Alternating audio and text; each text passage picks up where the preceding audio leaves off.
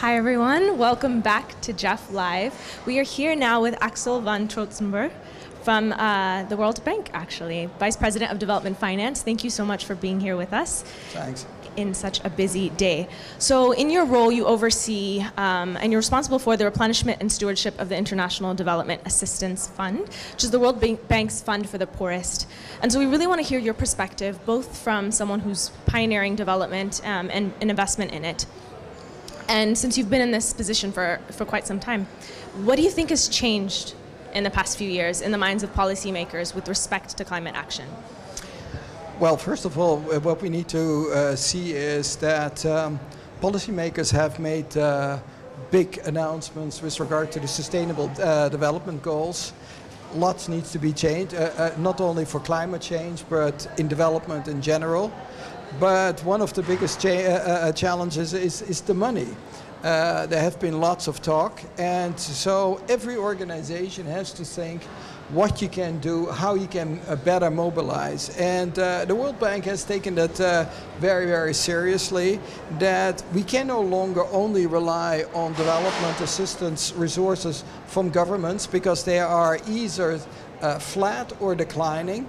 So you need to see how you can leverage. And that you need to think much more how you can leverage with other uh, uh, institutions, but also with the private sector. So what we have been doing, uh, A, for uh, the uh, poorest countries is to leverage this by going into capital markets. We have a AAA rating for IDA and it has allowed us to increase our resource mobilization by 50% to $75 billion for three years. So that's quite a bit, but that helps also the, the climate agenda. In parallel for the middle income countries, we have pushed hard for a capital increase, on which I've also worked on this. We got now the decision by, the, uh, by our membership and this will be the uh, largest uh, capital increase ever in the World Bank in uh, 75 years. Why do I say this? What it will mean is that the World Bank will scale up massively uh, climate financing. We were a couple, three years ago at a bit over 10 billion. This year we hope to get almost to 20 billion. Uh, our goal is now to go to $30 billion, and our goal is certainly from, uh, from 2019 to 2030 to uh, invest in the order of $335 billion only in climate change. So that means every organization needs to see how you can better uh, use partnerships, how you can use scarce capital to, to leverage this, and then work with other organizations to make it happen. Um, what has changed in my mind in the World Bank, we don't want to be a talk shop.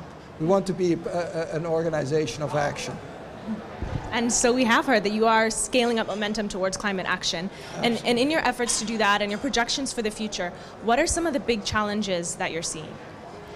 The, the big challenges is that one organization cannot do it alone. We need a global coalition.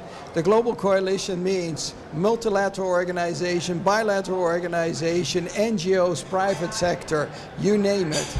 Uh, the challenges are enormous, so um, we can celebrate, let's say, a cute project and we do great, but we are losing the battle. Mm. So what we need to uh, is really uh, to, to keep very sharply focus on what the challenges are. Uh, we cannot lose days. That means that every organization has to move and think creatively what you can do. What is also key is, uh, uh, as I said, you cannot do it alone. We need to work together. That means you need to be very strongly focused on building coalitions, teams together on this. Uh, and this is, in a way, a global responsibility. We have many challenges that can be from the money, but ultimately, what we see also in the political uh, debate, there are many people who are denying that there is climate change. There are others who think uh, it isn't so bad. The fact of the matter, it's bad and it needs action. Yes. And then speaking of kind of building partnerships, building coalitions on a global level, we're here now, and we're and this venue can be one of the best places to build those partnerships. What do you see um, as the GEF um, is doing right? What do you think that they're doing right right now? What uh, we have been uh, uh, closely associated with the GEF. I was the co-chair for the uh, replenishment as well. Um, ultimately, uh, what I see is GEF is unique in, in, uh, in, various areas. It's not only on the climate change, but it is the biggest champion on, on biodiversity, international waters, blue ocean. There are many of those things that need action. Um, and actually, I think we need to do more.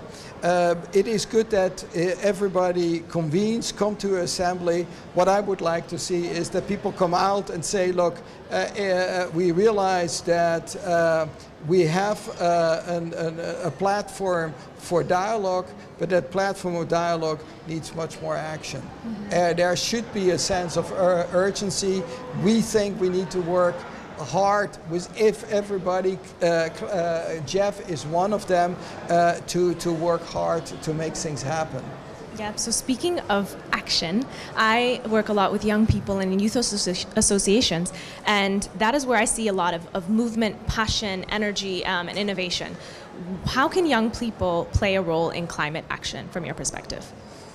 Well, uh, uh, how they can put it, it should not be can, they must be. Uh, it's the future. It's uh, the way we need to facilitate it. What is the good news is that many uh, young people are highly motivated on this. Uh, they think differently. We should exploit that, that different approaches. Uh, they, they, they, they approach maybe also problems differently. I think we should be very open on this. Um, uh, and, and, and rather to say you need to think in old stereotypes, you need to basically to open. And there should be diversity. There's biodiversity, there should be also biodiversity in opinion and approaches. And it, it would be an extremely bad idea to uh, let them outside of the, uh, the conference. You need to get them inside and get them motivated to be part of that coalition because it will also depend on them over the next generation or so uh, to see if we can make a, a, a, difference or not. And quite frankly, uh, I think we cannot fail. No, we can't. Thank you so much. Um, I would like to close with, with one uh, question to you. What is the best piece of advice that you've received in your career and that you've kind of held on to? Uh, stay passionate. Mm. Perfect. Thank you. You guys have heard it. Stay passionate um, and all the best from the GEF Live. Thank you.